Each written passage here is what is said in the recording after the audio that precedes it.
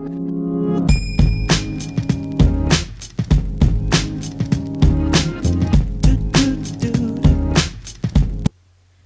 YouTube, in this video I'm going to be showing you how to make a movie in iMovie. First open up iMovie 08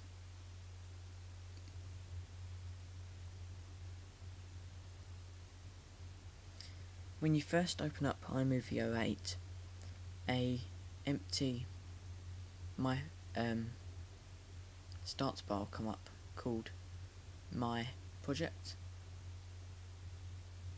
Up here. And um, you can rename it. So I'll rename this one to Heroes. Heroes. Okay. It's just for actually. I'll rename it to Chris. That's my name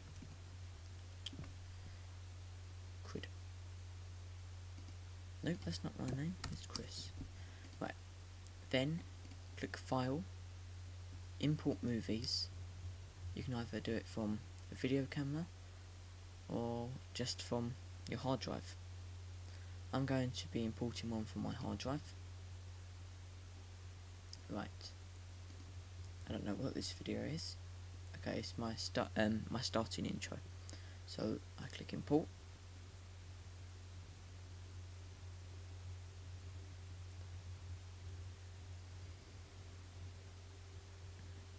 after it's done I have it down here. And I've got this tiny bit. Right. So say I want this bit here. The bit where the apples come in. And then gone.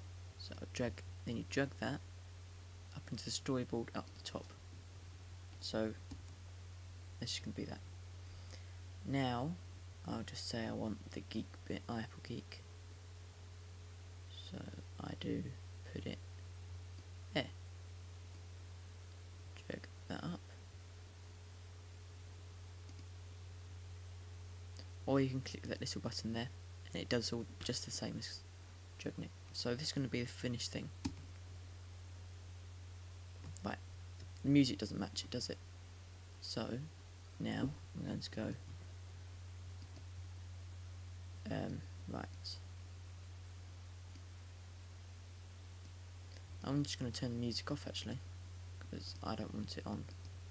So if I turn the music off by clicking the volume and then scrolling it down to zero, no music plays now. It just does that. Okay. To create a new project, you can do File, New Project. Once this video is done, you can export it to anywhere you want. iTunes, um, YouTube, or just QuickTime. You can then send it to anyone in the world if you want to, or you can just have it for home use only. Do export using QuickTime, save it to the desktop, then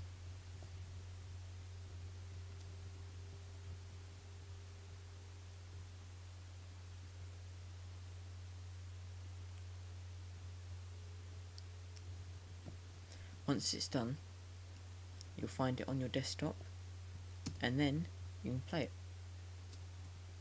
I didn't do the right settings for that, that's why it came out a bit blurry, but you get the idea now.